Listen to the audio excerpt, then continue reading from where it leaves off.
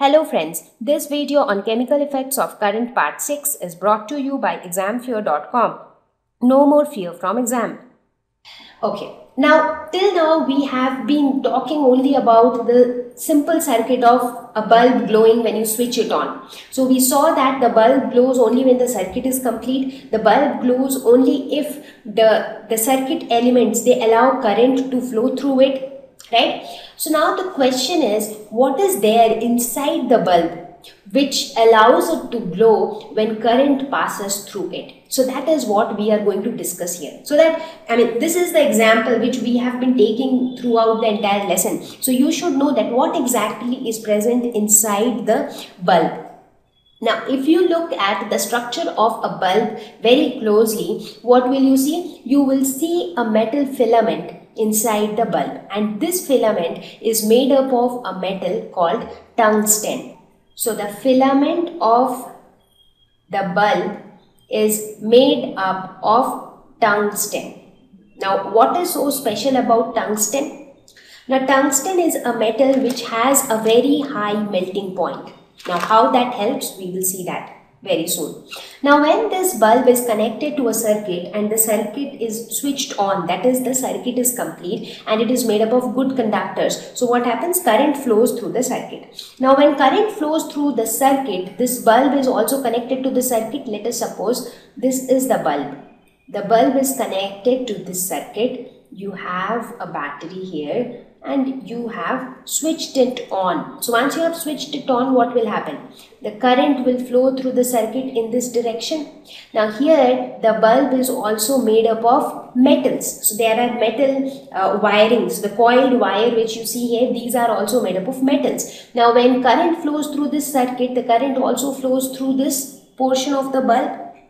Right? Now what happens is the filament which is made up of tungsten, tungsten is again a metal and a good conductor of electricity. So the filament tends to retain most of the heat. Now due to the flow of current, current produces heat. So current, there is a heating effect associated with current. So current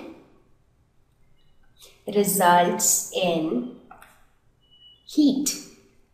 So heat is produced and most of this heat is retained by this filament. Now, so much of it gets retained by the filament such that it becomes very hot and it emits light. Now, why this filament when it emits light, then what happens? That is what we see as the glowing of the bulb. So, the bulb glows. Now this filament is thermally isolated. So you see there is a covering on the filament so that inside that glass covering you just have that filament. So why is it thermally isolated?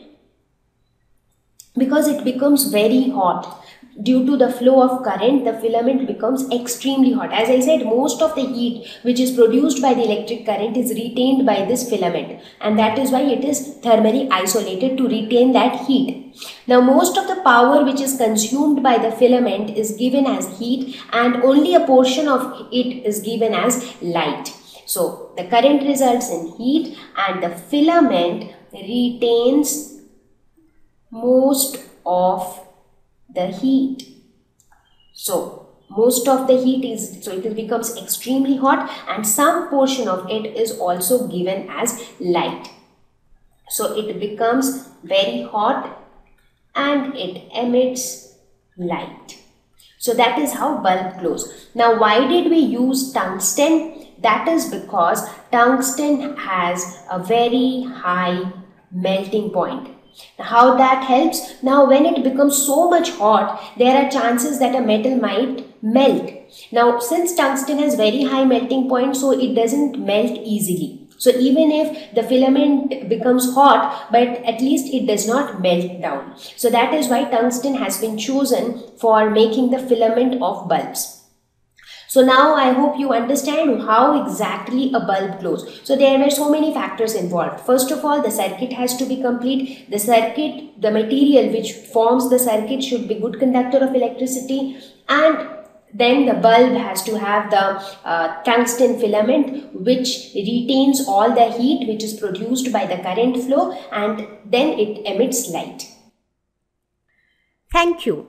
Please visit www.examfear.com to watch more educational videos with a better experience. Please do not forget to like and subscribe to our YouTube channel for latest updates. Thank you once again.